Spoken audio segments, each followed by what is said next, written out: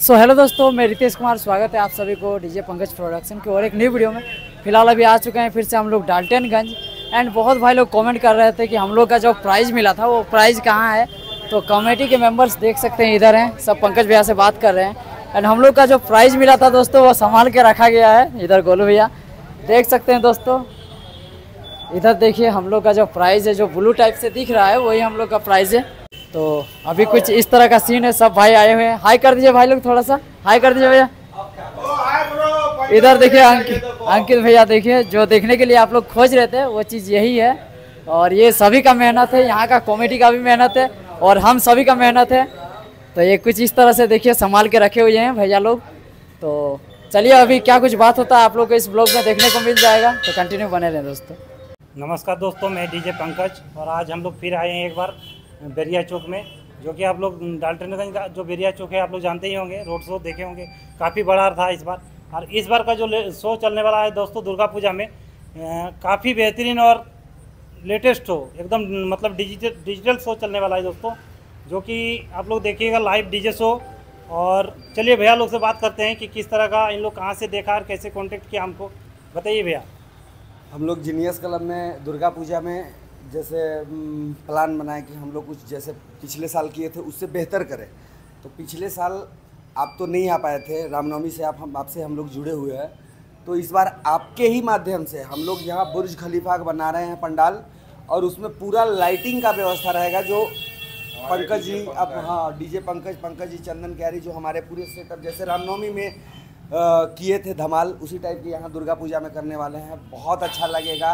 और इतना सुंदर और इतना अच्छा उसका वीडियो है हम लोगों के पास। हम लोग वीडियो बहुत जल्दी रिलीज़ करने वाले हैं कि हाँ क्या यहाँ जीनियस क्लब में होने वाला है। लेकिन इस बार जो भी होगा वो पंकज भैया खुद बताएँगे कि क्या करना पंडाल क्या बना रहे हैं इस बार? पंडाल यहाँ हम लोग बुर्ज खलीफा के तर्ज पे पंडाल का निर्माण कर रहे हैं जो 120 फीट हाइट रहेगा उसका। और उस पूरे पंडाल में हमारी माँ दुर्गा माँ विराजमान करेंगे और उसी में आप है सो आपका लाइट शो रहेगा या फिर कि दोस्तों 120 फीट हाइट में पूरा में सर्फी और पार लाइट ये लेजर वगैरह का डिज़ाइन शो चलेगा। आप लोग देखिएगा। और काफ़ी इसका काफ़ी से आप लोग ज़्यादा से ज़्यादा आइए और इधर भी भैया हैं।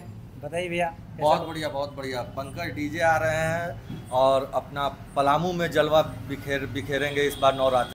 पूरा ऑल ओवर इंडिया में इनका नाम हो गया है और इनका साउंड इस बार हम लोग का रामनवमी में फ़र्स्ट प्राइज जीता, जिसके कारण हम लोग सोचे इस बार भी पंकज भैया का काम देखे बोकारो सेक्टर फोर में। हम लोग को पसंद आया, इसलिए हम लोग पंकज भैया को याद किए कि इस बार हम लोग का भी सहयोग कीजिए। और यहाँ पे कुछ ऐसा कीजिए जिससे सब लोग को लगे कि हाँ जीनियस क्लब कुछ किया है इस बार अच्छा। थैंक यू दोस्तों, आप लोग तो सब मतलब देख ज़्यादा से ज़्यादा आइए और ये डेट रहेगा आप लोग का नौ तारीख ना? नौ तारीख से स्टार्ट है। नौ दस ग्यारह। षष्ठी सप्तमी अष्टमी और नौमी। और विसर्जन में ये हमारे साथ रहेंगे रोड शो में जहाँ हम विसर्जन करेंगे इनका पूरे सिस्टम हमारे साथ रहेगा जो रोड शो विसर्जन का भी एक सेटअप रहेगा दोस्तों। जबकि हाँ। काफ़ी बड़ा नहीं रहेगा मीडियम सेटअप रहेगा अच्छा रहेगा बेस्ट क्वालिटी का इसमें रहेगा। एक बार बोलिए दुर्गा माता की। तो फाइनली दोस्तों यहाँ पे देख सकते हैं बेरिया चौक में अभी पंडाल बनना स्टार्ट हो चुका है। तो काफ़ी ज़ोरों शोरों से अभी जो है पंडाल बनना स्टार्ट हो गया है। तो चलिए थोड़ा गोलू भैया से पूछते हैं कि कैसे क्या लगाने वाले हैं लाइटिंग क्योंकि गोलू भैया ही यहाँ का लाइटिंग संभालेंगे। एंड साथ में हमारे आए हुए हैं संजय भैया, वो भी काफ़ी ज़्यादा मेहनत करते हैं। आप लोग बोकारो वाला का काम में देखे होंगे, बहुत ज़्यादा मेहनत करते हैं। तो फ़िलहाल इधर गोलू भैया और संजय भैया इधर इधर हैं। तो पूछते हैं, गोलू भैया, थोड़ा बता दीजिए, कैसे क्या लाइट वगैरह ये सब लगेगा? लाइट का तो बोल नहीं सकते, बोलने से कोई फ़ायदा नहीं, काम करके दिखाना होता बोलने के लिए तो बहुत कुछ बहुत कुछ बोलता है भाई लोग। काम करके दिखाना पड़ेगा। बात बाकी मेरा टीम है, ये बोल देगा। देखिए, बहुत कोई बहुत कोई तो ऐसा ही बोलता है कि लाइट ऐसा लग रहा है वैसा लग रहा है। देखिए, बोलने से नहीं होता, मेहनत हम लोग जानते हैं किस टाइप का लगता है। कोई उल्टा फुल्टा बोल रहा है कि ऐसा लगाना, बांधो ना भाई, तब ना पता चलेगा कि क्या होता है, क्या नहीं। लेकिन हम लोग चाहते हैं कि बोलेंगे नहीं, बार बार करके दिखाएँगे। और हमेशा करते ही हैं, और हमेशा करेंगे ही। थैंक यू तो दोस्तों, कुछ यही था सीन हम लोग का। यहाँ पे देख सकते हैं, काफ़ी खतरनाक अभी पंडाल का काम चल रहा है जोरों शोरों से, क्योंकि ज़्यादा टाइम तो और बचा हुआ नहीं है। और यहाँ हम लोग का बेरिया चौक और यहाँ हम लोग का मंदिर जिसमें टॉफ़ी रखा हुआ था।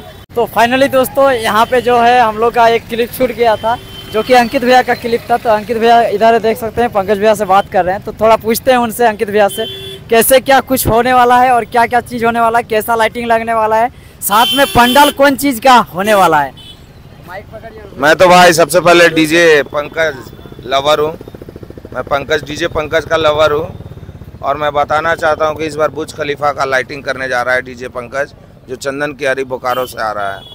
और अगले साल भी डीजे पंकज रामनवमी का काम करके गए हुए थे डाल्टेगंज से। इस साल भी रामनवमी आ रहा है। देखते हैं आगे क्या होता है। दशहरा का आने वाला है कमिंग सून में है। और गोलू दादा हमारे लाइटिंग में रहेंगे। चलो धन्यवाद भाई। Thank you